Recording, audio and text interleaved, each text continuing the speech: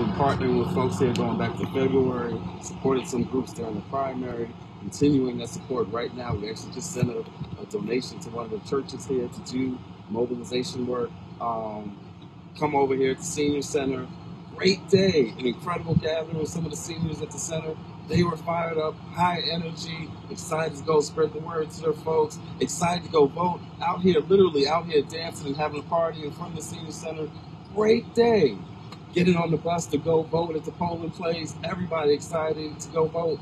Um, and then the our partner who helped organize it gets pulled off the bus because somebody called the center uh, and somebody called the, the commission, the county commission, to complain because they saw all these black folks get on this big black bus. It's the blackest bus in America. Somebody drove past, saw that, got nervous, um, got mad, called the county commission's office, which then called the center. And the bottom line was all the folks who had just got on the bus. And the bus was full. This is a 50 passenger bus full of folk had to come off the bus.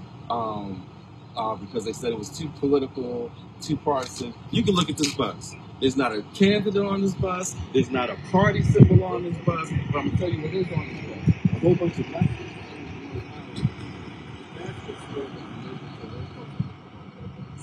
So he didn't want to fight it.